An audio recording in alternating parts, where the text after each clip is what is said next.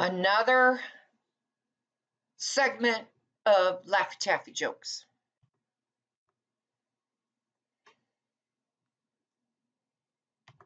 Ooh, that one's bad.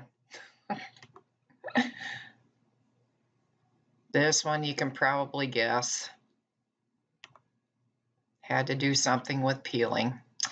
All right, well, this is part two of our slope segment.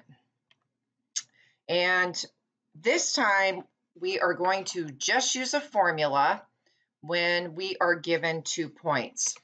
Now the formula we're going to use, M, we use in math to represent slope.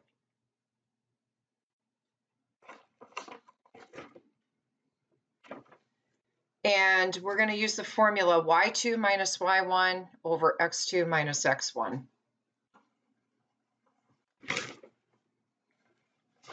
So on the left-hand side, we have example one. I'm going to label this x1, y1, x2, y2 for our second ordered pair. Here's the formula, y2 minus y1 over x2 minus x1. So it's just a matter of substituting in. 5 minus 4 over 4 minus a negative 2. So make sure you're real careful as you're substituting in. Now when you minus a negative, remember that becomes plus plus. And now I just solve the numerator. 5 minus 4 is 1. 4 plus 2 is 6. So the slope would be 1 sixth. Our second example, x1, y1 for the first ordered pair, x2, y2 for the second ordered pair. Substitute in, I get negative 6 minus 2 over 4 minus a negative 5. So anytime I see minus a negative, I'm going to change that right away to plus plus. Now with integers, a negative minus a negative, I think of they are the same sign. I'm going to add them together. Sign stays the same. On the bottom, 4 plus 5, they're both positive, and I get 9. So negative 8 ninths would be the answer for that slope. Now I'm going to show you one other option. It's called slope slide. And what you got to remember, what you need to remember to do is to subtract going down the slide.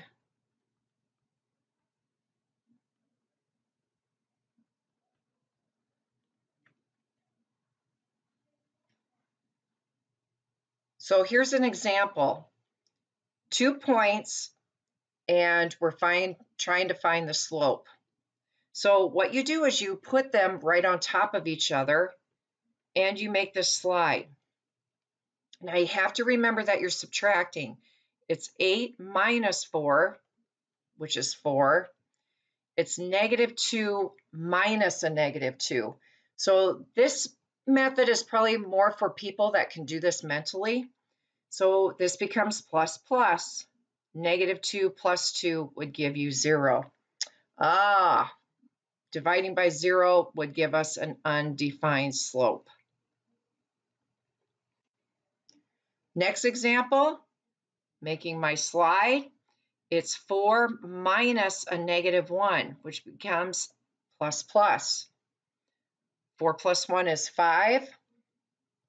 I'm going to go 6 minus 3, which is 3. So our slope would be 5 thirds. So you just got to really be careful of signs here. So I make my slide. My two ordered pairs are on top of each other. Negative 3 minus 2. Okay, so I've got to think same sign. I add them together. Sign stays the same negative 1 minus a negative 5. I'm going to change both of those to plus plus. Negative 1 plus 5, they're opposite signs, so I subtract.